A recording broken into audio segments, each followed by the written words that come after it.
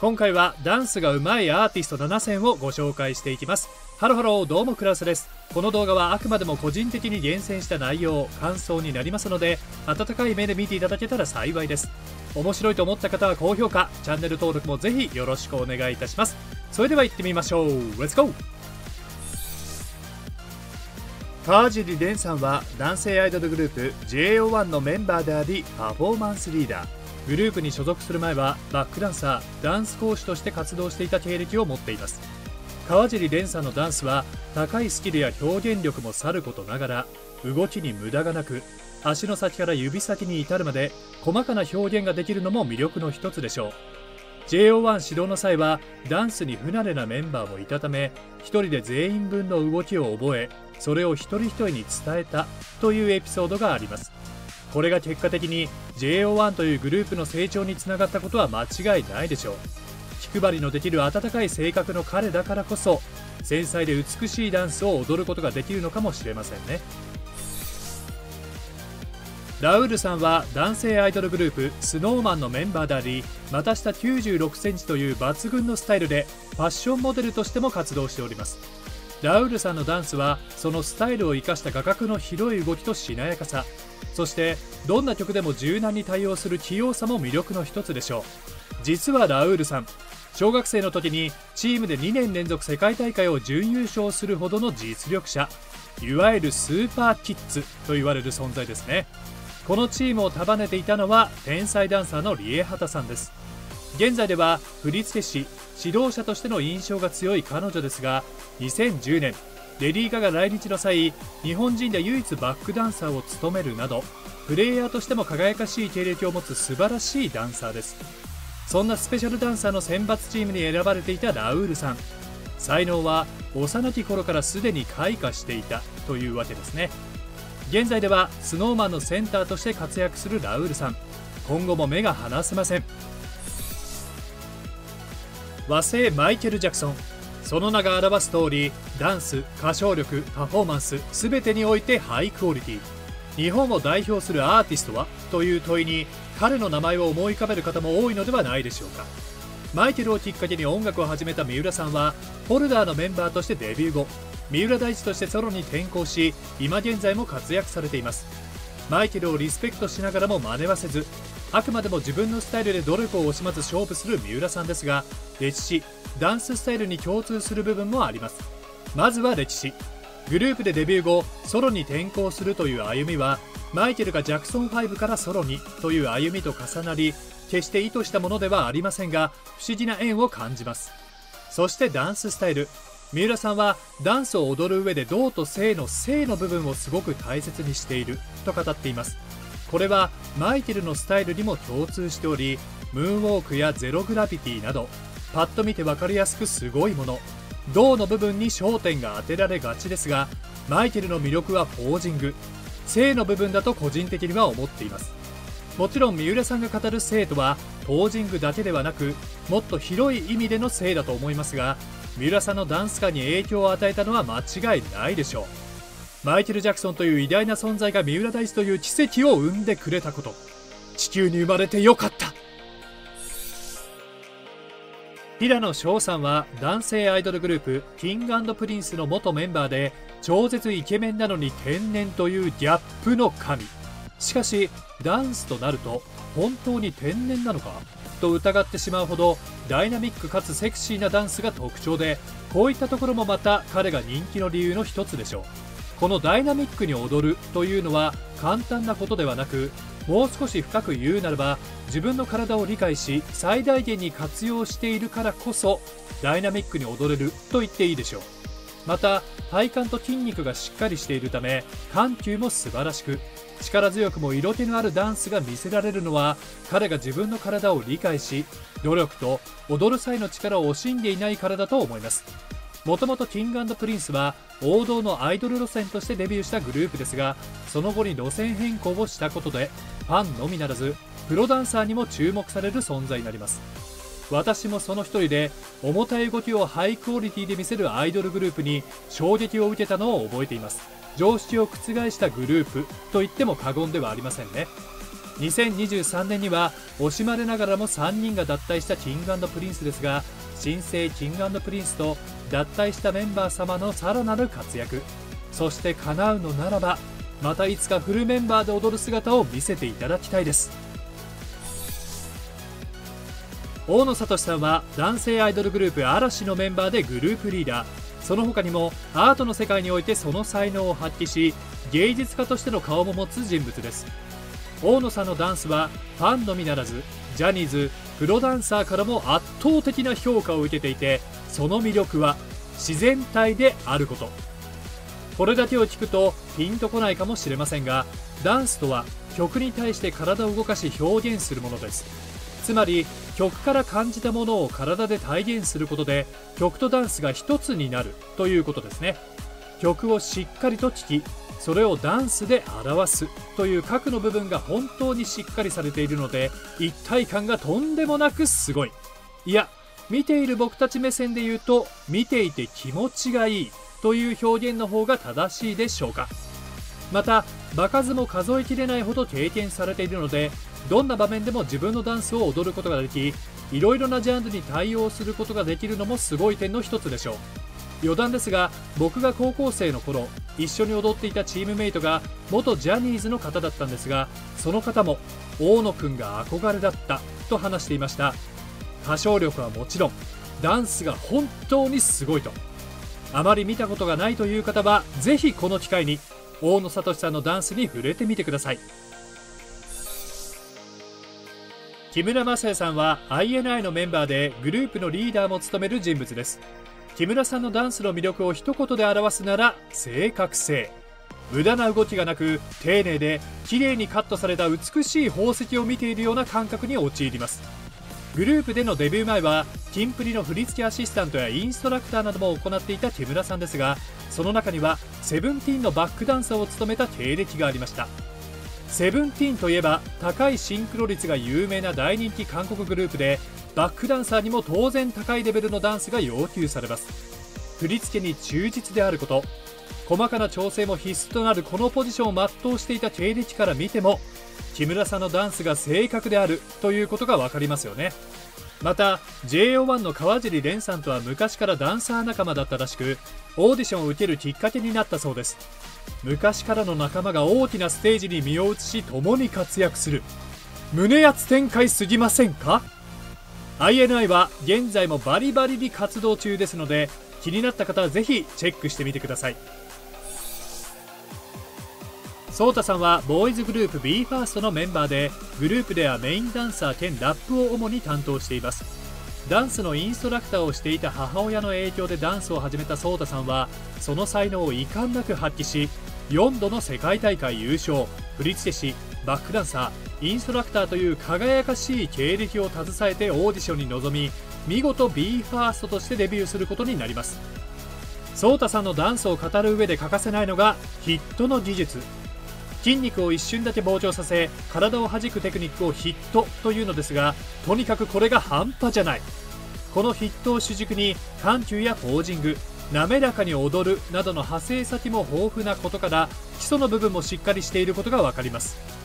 また BE:FIRST というグループでのソータさんの存在は大きくデビュー当初グループ内にはダンスに不慣れなメンバーもいた中でダンスでグループを牽引し結果的に全体のレベルが上昇。もちろんメンバー一人一人が常に努力したこともありますがダンスの面でも他に劣らない確かなものになりました。これはソータさんに限らずですが BE:FIRST というグループは作品を重ねるごとに進化しており今後の活躍も本当に楽しみです。今回は前回ご好評いただいた企画の第2弾ダンスが上手いアーティスト7選をご紹介していきます。ハロハローどうもクラスです。この動画は皆様からのおすすめと個人的に厳選した内容を感想で構成しておりますので温かい目で見ていただけたら幸いです。面白いと思った方は高評価チャンネル登録もぜひよろしくお願いいたします。それでは行ってみましょう。レッツゴー Ayumu Imazuさんは日本とアメリカに拠点を置く Z 世代を代表するアーティストの一人です。6歳からダンスを始め14歳から約3年半ニューヨークへのアーティスト留学。2021年に日本のテレビ番組で紹介されたことをきっかけにより広く認知される存在になりました。今津さんのダンスはスタイリッシュ。この踊り方を主軸に音に合わせた抜き差しとノリを見せるそのスタイルは曲に対しての圧倒的な理解を感じさせてくれます。それもそのはずなんと今津さん。作詞作曲ダンスの振り付け歌構成を自分自身でこなしてしまうスーパーアーティスト。曲への理解その理由が分かりますよね。とあるインタビューの中で今津さんは表現する時はオリジナリティを持って自由でいたいと語っています。他にはないものを発信する才能の塊歩む今津ぜひ注目してみてください。宮近海斗さんは男性アイドルグループ TravisJapan のメンバー及びリーダーを務める人物です。小学生の時に母親からリズム感のなさを指摘された宮近さんはダンススクールに通い始めジャニーズ事務所に所属。後に TravisJapan のメンバーとなります。宮近さんのダンスの魅力の一つは軸。どんな振り付けでもぶれないその軸の強さと日本人離れしたバネで生み出すリズム感のあるダンスは見る者を魅了します。またとても明るくパフォーマンスする姿も印象的で踊ることを心から楽しんでいることが分かりますよね。宮近さんが所属する TravisJapan は2022年アメリカへの武者修行留学を発表。同年に行われたコンテストでの受賞を経て見事メジャーデビューを果たしました。トラビスジャパンは宮近さんに限らずハイレベルのダンスとパフォーマンスを見せてくれるグループなのでぜひ注目してみてください。それにしても小学生にリズム感のなさを指摘するお母さん。すごすぎます。K さんはエンティームの最年長メンバーで面倒見の良いお兄さん的な人柄と実力でグループをまとめる人物。高校卒業後本格的にアーティストを目指した K さんはオーディションの参加や練習生を経て2022年にエンティームのメンバーとしてデビューをします。K さんのダンスを一言で表すならば完璧。何かに秀でているというよりアーティストに必要な要素を全てにおいて高水準かつバランスよく達しているという印象が強く幼少期からダンスに触れてきたわけではないのにこのクオリティ。自然と努力とセンスという2つの言葉が背景に浮かびますよね。また陸上をやっていた経験からかスタミナも素晴らしく踊り始めから終わりまでパフォーマンスが低下しない点も凄さの一つでしょう。K さんが所属するエンティームは BTS などを率いる大手事務所 HYBE の傘下となる HYBE レーベルスジャパン。そこが世に送り出す初の新人グループということでグローバルな活躍を期待される彼らには今後も目が離せません。佐久間大介さんは男性アイドルグループ SnowMan のメンバーでありジャニーズ屈指のアニメ声優オタクという一面も持つ人物です。佐久間さんのダンスを語る上で欠かせないのが体幹と関節の可動域。どんな振り付けでも絶対にぶれない体幹。その体感と経験からもたらされる緩急と引き出しの多さ。メンバー1小柄でありながらそれを全く感じさせない可動域。踊るための全てが彼に備わっていると言っても過言ではないでしょう。また美しいアクロバットも佐久間さんの魅力の一つでその姿はまるで水鳥が水面から羽ばたくような優雅さと安心感を与えてくれます。佐久間さんの歴史を探るとクラシックバレエや体操教室さまざまなジャンルのダンスに触れてきた経験がありました。驚異的な体感と安定感はここから培われたものなのかもしれませんね。snowman さんのダンプラではメンバー皆様のダンス力を感じることはもちろんメンバー同士の絡み佐久間さんのフードアクションなどその空間の今を楽しんでる姿も見ることができるので気になった方はぜひ視聴してみてください。西弘人さんは INI のメンバーでグループではメインダンサー兼ラップを担当しています。高校から本格的にダンスを始めた西さんは有名アーティストのバックダンサーインストラクタープレイヤーとしての活動を経て INI のメンバーとしてデビューします。ちなみにバックダンサーを務めた経歴の中には前回の動画でもご紹介させていただいた三浦大知さんの名前もあったこと。ダンサー時代コンテストの受賞歴もあることから日産のダンススキルが本物であるということが分かりますね。そんな日産のダンスの魅力の一つは重厚感。堂々としたその立ち振る舞いは西洋の甲冑騎士のような男と品を感じさせ瞬発力とキレのある動きは騎士の振るう人たちのよう。また過去にはミュージックビデオや CM などにも出演されていた西さん堂々とした姿の背景にはこういった過去のいろいろな経験から得た離れもあるのかもしれませんね。今後も西さんの所属する INI がどんなパフォーマンスを見せてくれるのか本当に楽しみです。日さんはボーイズグループエンハイプンのメンバーでグループでは唯一の日本人メンバーにして最年少。ダンススタジオを経営する親のもとに生まれた日さんは3歳からダンスを始め13歳という若さで渡韓その後に行われたオーディション番組に参加し見事エンハイプンのメンバーになりました。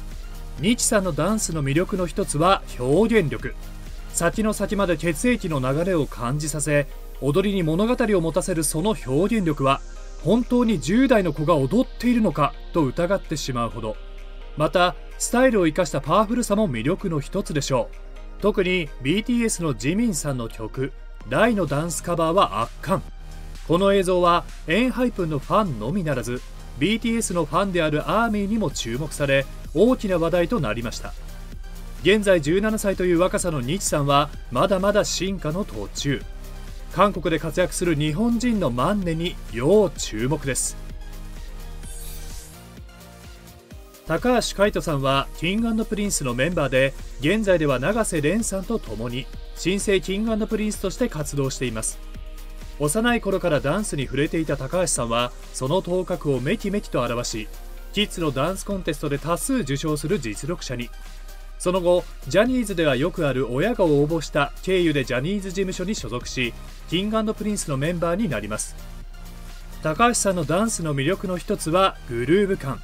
これは主にソロでの話になりますがかっこよく踊ろう綺麗に見せようなどの邪念が全くなくその時感じたものを表現する高橋さんのダンスは見る人の心をつかみハッピーな気持ちにさせてくれます。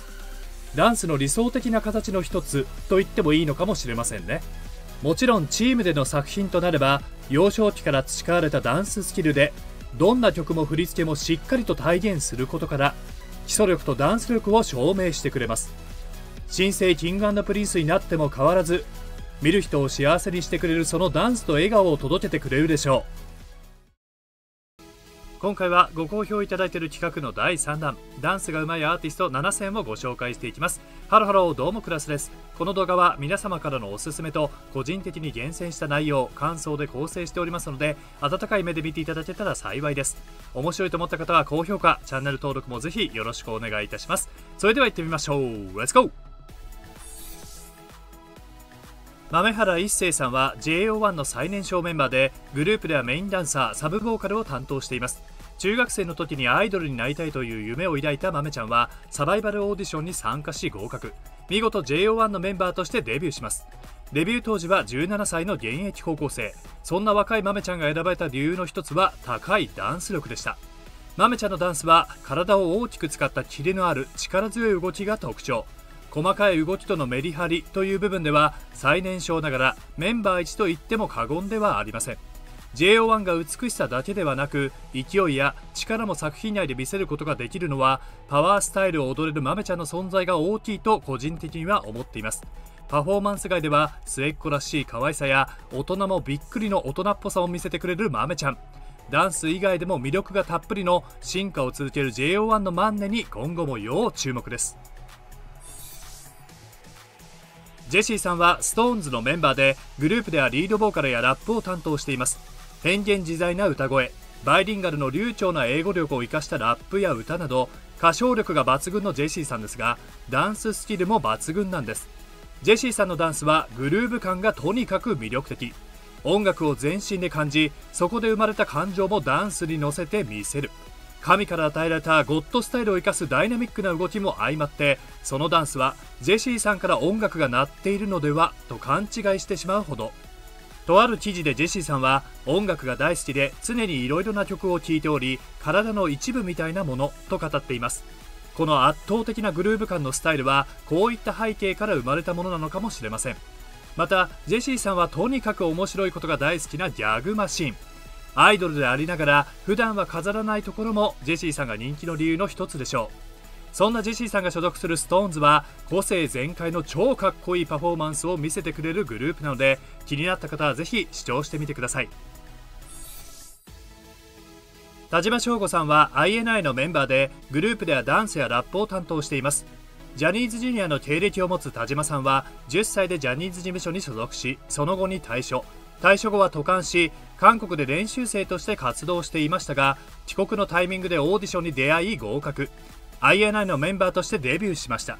経験が豊富な田島さんのダンスは一つ一つの動きが洗練されていることはもちろん難しいことをやっていると感じさせない余裕感動きに合わせた表情の変化など装飾の部分にも彩りを感じさせる素晴らしいダンスを見せてくれます。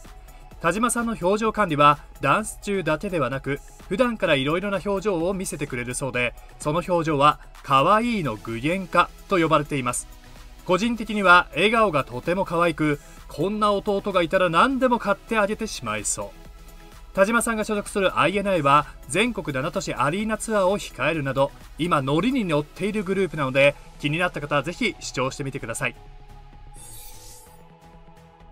岩本照さんは SnowMan のメンバーでグループのリーダーも務める人物です。マイケル・ジャクソンに憧れ小学生からダンスを始めた岩本さんはダンスを仕事にしたいと考え13歳で自らジャニーズ事務所に応募し入所。後に SnowMan のメンバーになりました。岩本さんのダンスは確かなダンススキルとアクロバットの凄さはもちろん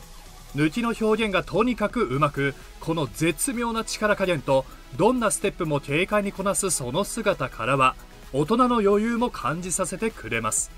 そして岩本さんを語る上で欠かせないのが振り付けの才能。独創的かつメンバーの良さを知り尽くしたその振り付け力は天才という言葉がしっくりきます。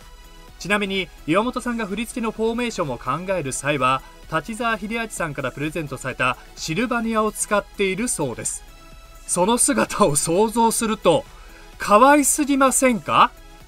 岩本さんが振り捨てされた SnowMan の作品は YouTube にもたくさんアップされていますのでダンスだけではなく振り付けにも注目して見てみてください。きっと癖になります。和田颯さんはダンスボーカルグループ DICE のメンバーでグループではパフォーマーを担当しています。小学生から本格的にダンスを始めた和田さんは2006年のオーディションで ABEX の特待生になり練習生期間を経て DICE のメンバーとしてデビューしました。歌うように踊ると評されている和田さんのダンス高いダンススキルと表現力に加え踊りに感情を乗せている点がそう言われるゆえんでしょう。踊りに感情を乗せることは表情や抑揚の部分にもつながる大切な要素です。しかしそれを表すには自分が楽しむその作品に入り込むということがないと表せない表現なのでこういった点から和田さんの強いダンス愛を感じることができます。和田さんの活動はグループだけにとどまらず颯名義でダンスワークショップやイベント出演俳優業アパレルブランドのプロデュースなど個人としても幅広く活動中。多方面で活躍する和田颯さんに今後も注目です。大橋和也さんはなにわ男子のメンバーでグループではリーダーも務める人物です。小学生の時に両親の勧めでダンスボーカルスクールに通い始めた大橋さんはいつしかスーパーアイドルになりたいという夢を抱きジャニーズ事務所に応募し合格。ユニット活動などを経てなにわ男子のメンバーとしてデビューしました。大橋さんのダンスはつなぎの使い方がとにかくうまいのが特徴。動きから動きをつなげる際に仕切り直すのではなくフェードインアウトするようにつなげ全体をシームレスにまとめる。こうすることで展開がスムーズになり飽きのこないダンスを最後まで持続させることができます。もちろんこれは大橋さんの可動域の広さと柔らかさ。そして次の動きを意識した余韻の使い方があるからこそ表現できているものでしょう。大橋さんの所属するなにわ男子は関西ジャニーズジュニアから生まれた王道アイドル路線の7人組グループ。ダンスや歌だけではなく関西で鍛えられたトーク力でこれからますます輝いていくでしょう。新しい時代を作る7人の王子様たちを今後も要チェックや。長太郎さんは NCT の元メンバーで現在は新人男性グループのメンバーとしてデビューするためグループを脱退しています。日本で GACKT さんのバックダンサーを務めるなどダンサーとして活動していた翔太郎さんは18歳の時に NCT の日本公演をテレビで偶然見かけたのをきっかけに韓国アイドルを目指します。その翌年に韓国の芸能プロダクション SM エンターテインメントのオーディションを受け見事合格。練習生期間を経て NCT のメンバーとしてデビューしました。そんな翔太郎さんのダンスは精密かつ丁寧なのが特徴。圧倒的なダンススキルに加え一つ一つが細かいのに丁寧にまとめられているダンス。これはパーツを細かくコントロールできないと見せられない表現なのでアイソレーションなどの基礎力の高さも感じることができます。また翔太郎さんが本来持つあどけなさも時折見られかっこいいだけじゃないかっこかわいい表情を見せてくれるのも翔太郎さんの魅力の一つでしょう。現在は SM エンターテインメントの新ボーイズグループ。ライズのメンバーとして活動している翔太郎さん。新グループではどんな表情とダンスを見せてくれるのか要注目です。さていかがだったでしょうか？皆様のおすすめアーティスト様の情報や動画の感想などコメントいただけるとすごく励みになりますのでお時間が合えばぜひよろしくお願いいたします。それでは今回はこの辺で。See you next time. バイバイ